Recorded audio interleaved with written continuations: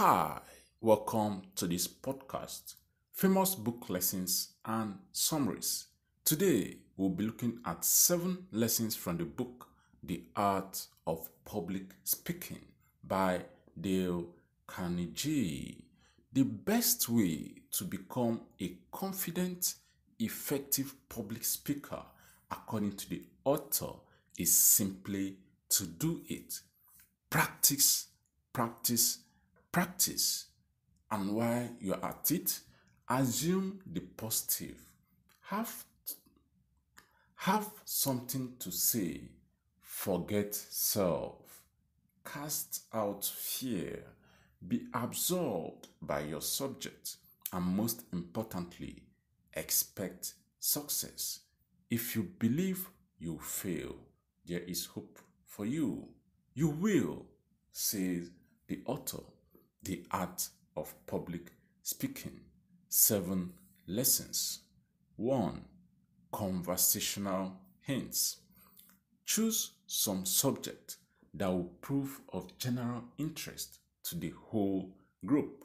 Do not explain the mechanism of a gas engine at an afternoon tea or the culture of some crazy people in the northern hemisphere at a stage party. 2. Do not be content with your general knowledge of a word. Press your study until you have mastered its individual shades of meaning and usage. 3. The importance of exposition. The importance of exposition in public speech is precisely the importance of setting forth a matter so plainly that it cannot be misunderstood.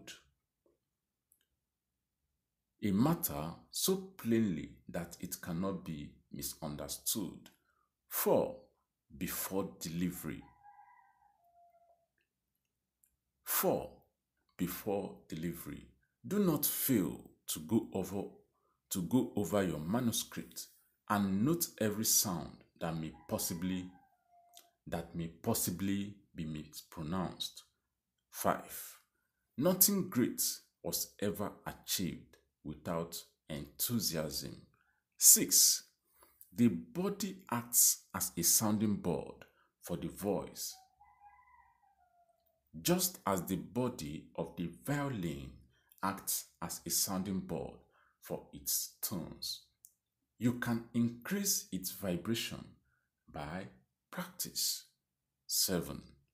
Thoughts are deeper than all speech. Feelings are deeper than all thoughts. Souls to souls can never teach.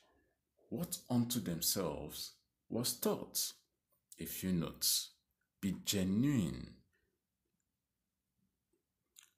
be genuinely interested in the audience.